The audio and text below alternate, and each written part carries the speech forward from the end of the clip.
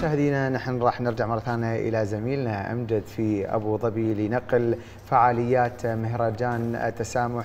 ونمسي عليك بالخير مرة ثانية يا أمجد.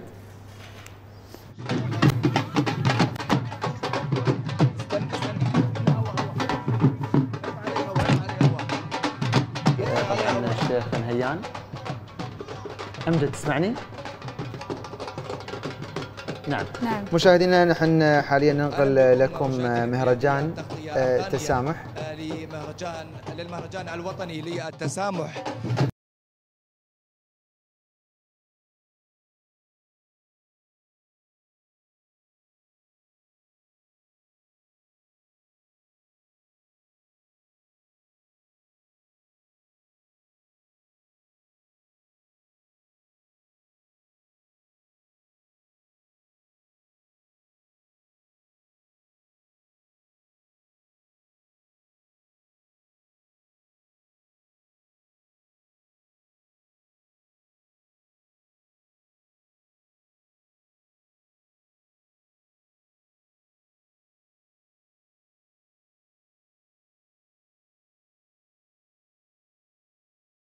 نشهد الفرق الموسيقية تقوم بقرع الطبول في استقبال معالي الشيخ مبارك آل نهيان وزير التسامح للترحيب به على الطريق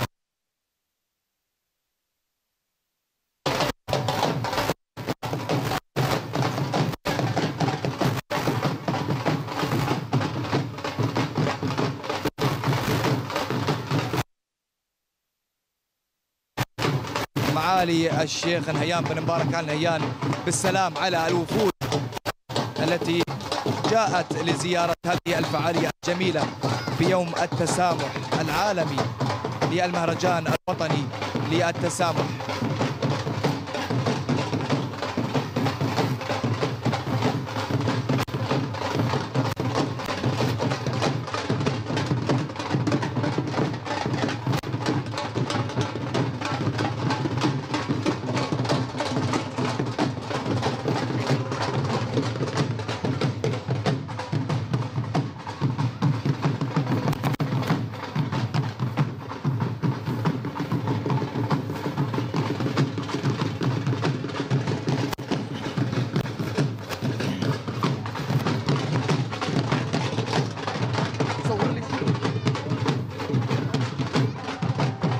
إذا مشاهدينا هذه هي النقلة الثانية آه، بدخول معالي الشيخ نهيان بن مبارك آل نهيان وزير التسامح إلى آه، يعني مكان الحدث لفعالية المهرجان الوطني للتسامح.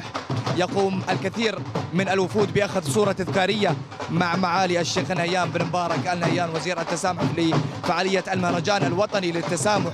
تزامنا بمناسبة اليوم الدولي والعالمي للتسامح.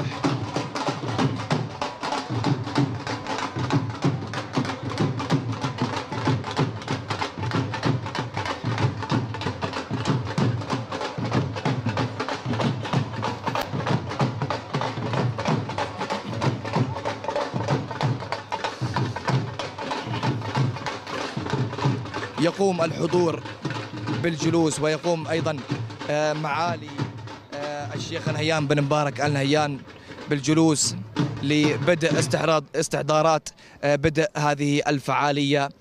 وطبعا قامت الفرقة الهندية بقرع الطبول وإظهار الفلكور يعني الهندي في كيفية استقبال الضيوف ويعني تعزيز الثقة بينهم.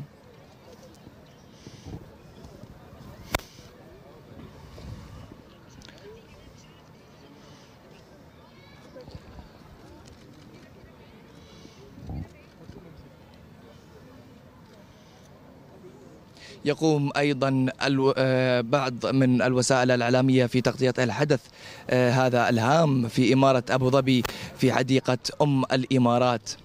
الكثير من الوفود التي أتت للمشاركة.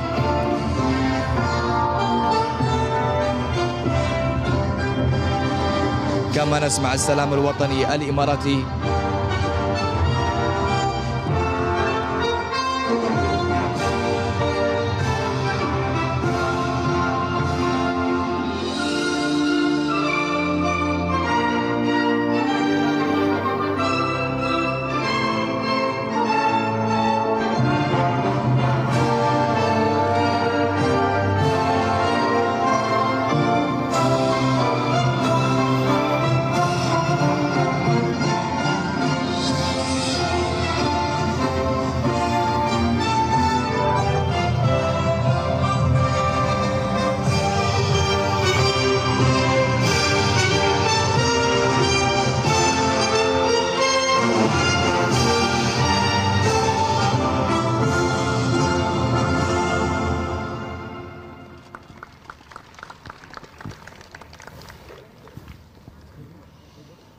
قام معالي الشيخ نهيان بن مبارك ال نهيان وزير التسامح آه، بسماع النشيد الوطني.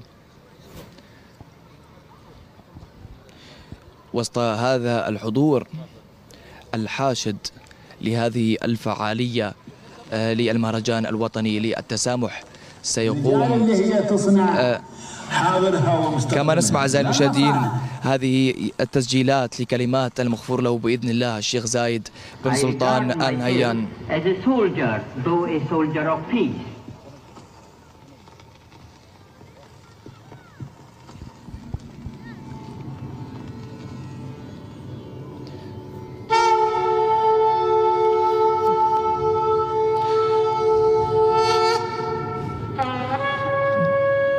وبدأ الحفل الآن بفيديو. على ما أظن أنه فيديو آه، من مشاهد دولة الإمارات. وطبعا هذه المشاهد لافتتاحية الحفل وفعالية المهرجان الوطني للتسامح.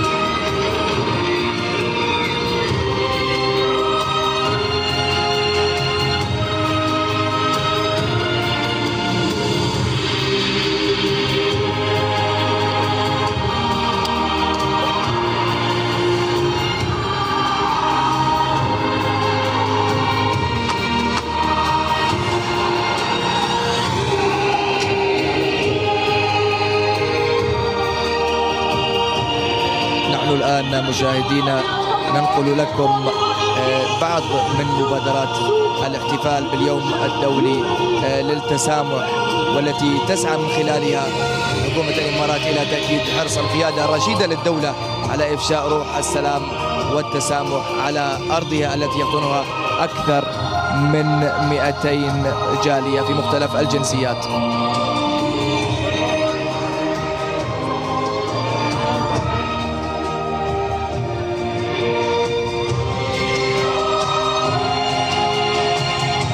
إذا مشاهدينا كما نقلنا لكم هذه الأحداث والفعاليات للمهرجان الوطني للتسامح.